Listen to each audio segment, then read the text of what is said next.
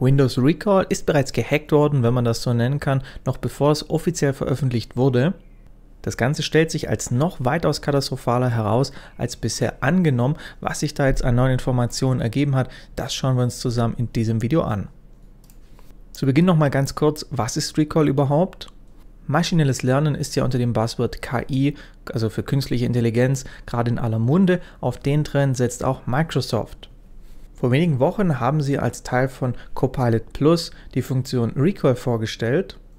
Die soll im Sekundentakt automatisierte Bildschirmfotos anlegen, die man später maschinell verarbeitet, damit die durchsucht werden können, aber man dabei eben nicht an Programme gebunden ist. Das heißt, alles, was der Mensch am Computer sieht, das kann der nachher durchsuchen, statt wie bisher, ihr müsst wissen, suche ich im Browser, suche ich in einem Programm, suche ich im Dateisystem, das verschwindet, ihr könnt alles durchsuchen. Das verschärft die bereits umfangreiche Überwachung in Windows nochmal um eine ganz neue Dimension. Verschiedene Sicherheitsforscher warnen da vor diversen Missbrauchsszenarien. Eins davon ist Schadsoftware, denn die kann dann auch alles nachvollziehen, was der Anwender so die letzten Monate gemacht hat, und zwar fast lückenlos zum Beispiel sensible Daten abgreifen, da Recall diese nicht schützt. Das war ja auch hier bei mir ein großer Kritikpunkt, dass eben komplett alles außer DRM-geschützte Inhalte, also urheberrechtlich geschützte Inhalte mit diesem unfreien Kopierschutz, die werden erfasst und sind damit praktisch freiwillig. Außerdem drängt Microsoft diese Funktion auch allen Nutzern auf. Die ist im Standard aktiviert. Das heißt also, da gibt es kein Opt-out, sondern ein Opt-in. Im Detail habe ich das in diesem Beitrag ausführlich erklärt, da gibt es auch ein Video zu, das verlinke ich oben und in der Beschreibung. Recall ist derzeit noch nicht offiziell frei verfügbar. Es ist zwar in der Insider-Vorschau-Version, also so eine Art Alpha-Beta-Version von Microsoft Windows enthalten, aber unterstützt nur ausgewählte ARM-Prozessoren. Die gibt es derzeit noch gar nicht und sollen in der zweiten Monatshälfte vom Juni 24 erst erscheinen. Aber weil der Code schon in Windows 11 enthalten ist, gibt es ja seit kurzem verschiedene Anleitungen, mit denen man das auch auf anderen Geräten aktivieren kann, aber eben nur ARM-Hardware, denn den Code, der ist hier bisher noch nicht für x86 implementiert. Das soll noch folgen, aber derzeit kann man ihn eben nur auf ARM-Systemen nutzen und nicht auf anderen Architekturen. Dazu gibt es ja auch dieses GitHub-Projekt, das hier äh, zeigt, wie man das Ganze machen kann. Also mit den Schritten kann man das schon vorab nutzen und ausprobieren das Internet. Dadurch gibt es nun erste Erfahrungswerte aus der Praxis von Leuten, natürlich nicht viele, aber eben die, wo AM-Geräte haben, uns ausprobieren konnten, die sind erschütternd. Hier zum Beispiel hat einer auf Mastodon gepostet, wie er das aktiviert hat und gibt hier Einblicke, wie das Ganze technisch funktioniert. Das fand ich interessant. Im Kern lässt Microsoft eine Texterkennung über die Bildschirmfotos laufen und speichert deren Daten inklusive Metadaten in einer Datenbank. Hier sieht man die Struktur, das ist so eine SQLite-Datenbank, also darauf ausgelegt, dass man die lokal für einen Benutzer hat, statt im kompletten Datenbankserver. Hier sieht man es dann, da sind diverse Informationen abgespeichert, die URLs, alles was er da eben auslesen kann, Fenstertitel und noch ein paar weitere Metainformationen. Damit ist nahezu lückenlos nachvollziehbar, was jemand an seinem Computer gemacht hat. Es gibt zwei interessante Ordnerpfade, die sind jeweils in eurem Benutzerprofil, also unter C-Users und dann euer Benutzername in AppData Local. Das eine ist diese .db, die SQLite-Datenbank, die ihr eben hier gesehen habt, plus Image Store, da sind dann eben ganz normale Bilddateien drin, die kann man auch direkt so öffnen mit einem Doppelklick, wie jetzt ein Bild von eurer Digitalkamera oder ein Bildschirmfoto, das ihr selber aufnehmt.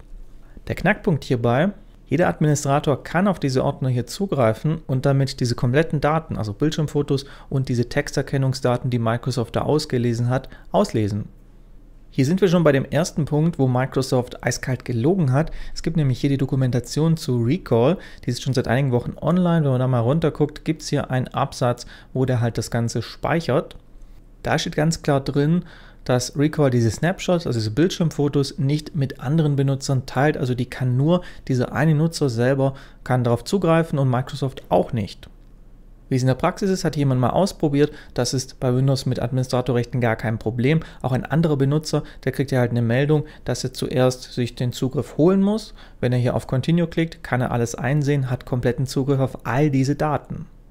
Jetzt kann man sagen, naja gut, die haben zwar geflunkert, aber Administratorrechte, das sollte man ja eigentlich nicht machen. Das stimmt in der Theorie natürlich auch. In der Praxis ist das Microsoft hier selbst bewusst, dass es da anders aussieht. Wenn man da nämlich mal in diese Ankündigung zur Sicherheit in Windows 11 ganz weit runter scrollt, gibt es hier einen Absatz, wo steht, die meisten Leute, die arbeiten mit vollen Administratorrechten. Und dann wird hier aufgelistet, welche Sicherheitsprobleme das mit sich bringt. Das heißt, Microsoft weiß, dass eben so etwas überhaupt kein Problem und durchaus gängig ist.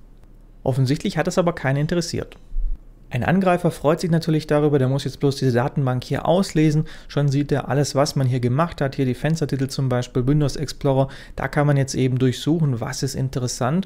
Und hier hat jemand jetzt mit dem Projekt Total Recall ein kleines Python-Skript geschrieben. Ist nicht mal lang, sind 160 Zeichen Code, also nicht wirklich viel.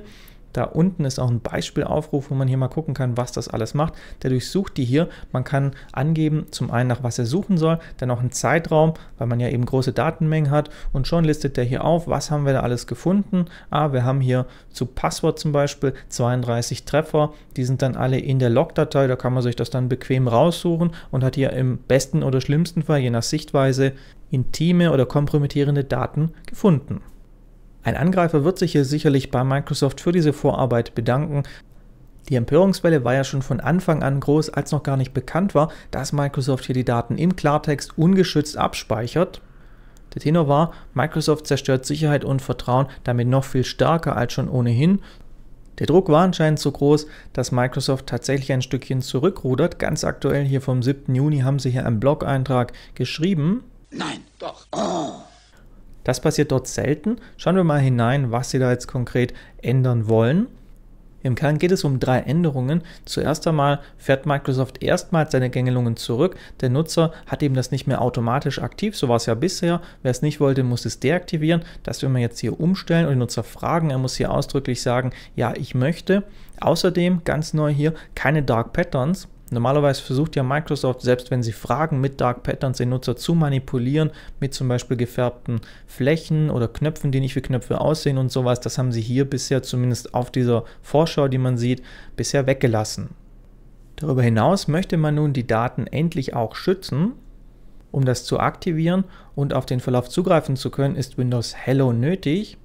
Das heißt entweder biometrische Authentifizierung mit Gesicht oder Fingerabdruck oder aber ein PIN. Außerdem sollen die Bildschirmfotos inklusive der Datenbank ab sofort verschlüsselt werden. Ebenfalls gelogen ist also die anfängliche Behauptung von Microsoft, dass Privatsphäre und Sicherheit schon von Anfang an hier mit integriert wurden. Offensichtlich ist das nicht der Fall, sonst müsste man nicht jetzt im Nachgang, nachdem es hier heftige Kritik wegen der Unsicherheit gab, anfangen, das überhaupt jetzt erst einzubauen, weil bisher hat das ja alles gefehlt. Spannend ist, dass Microsoft wenige Wochen bevor Recall erschien noch hoch und heilig versprochen hat, Sicherheit an erste Stelle zu stellen. Das hat hier der CEO gesagt. Wenn ihr da mal runter in den Artikel guckt, da heißt es, wenn man sich hier entscheiden muss zwischen Sicherheit und irgendwas anderem, dann ist immer Sicherheit oberste Priorität. Das sagt schon vieles über den Konzern aus. Im Umkehrschluss muss ja Sicherheit bisher nicht so wichtig gewesen sein, ansonsten müsste man es jetzt nicht von weiter hinten auf den ersten Platz holen. Das kann zwar jeder schon länger an den regelmäßigen gravierenden Sicherheitsmängeln in der Microsoft-Software selber sehen, doch Microsoft selber warb und wirbt immer mit, dass da alles voll sicher ist und man sich kümmert und so weiter. Das scheint Tradition zu haben. Bei Copilot war es ja auch so. Da hat man von Anfang an gesagt, beruhigt euch, das ist alles sicher, alles lokal, alles super. Jetzt merkt man langsam, es war doch nicht so. Auch kein Einzelfall. Ich habe es hier schon mal in dem Video zur CDU, die hatten ja auch einen Hackerangriff erwähnt. Bei der SPD vor einem Jahr, da hat sich herausgestellt, die wurden durch eine Lücke in Microsoft Outlook gehackt. Die stand etwa ein Jahr lang offen und auch als Microsoft davon erfahren hatte, dauerte es zwei Monate, bis die sich gekümmert haben. Auch die aktuellen Beispiele sind da nicht viel besser. Zum Beispiel ganz aktuell hier eine kritische Sicherheitslücke in Microsoft Azure, also der Cloud.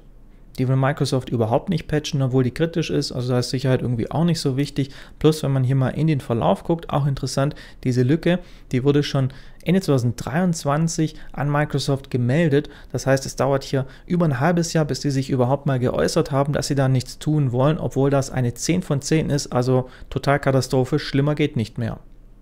Noch kurz zwei weitere Beispiele. Microsoft hat seinen X- bzw. Twitter-Account nicht in Griff. Der wurde hier sogar für Betrug missbraucht. Also da scheint man auch seine Konten bei anderen Anbietern nicht gescheit schützen zu können. Die Katastrophe ist sogar so groß bei ihrem letzten Cloud-Hack, da haben sie ja geschwiegen, haben das versucht unter den Teppich zu kehren. Da verklagt jetzt das BSI Microsoft, damit sie da mal an Informationen kommen. Das ist also richtig super bei denen. Mein Fazit, dieses Unternehmen hat einmal mehr bewiesen, dass sie weder sicher noch ehrlich sind. Wer immer noch deren Produkte kauft, unterstützt diese Praktiken und sollte ernsthaft überlegen, ob er das zum einen mitmachen möchte, sowie zum anderen seinen Daten antun will. Am Ende sind es nämlich eure Daten, die kompromittiert werden, wenn zum Beispiel Copilot die Ende-zu-Ende-Verschlüsselung umgeht. Was denkt ihr darüber? Schreibt es gerne auf fulabs.de oder hier in die Kommentare. Tschüss, bis zum nächsten Mal.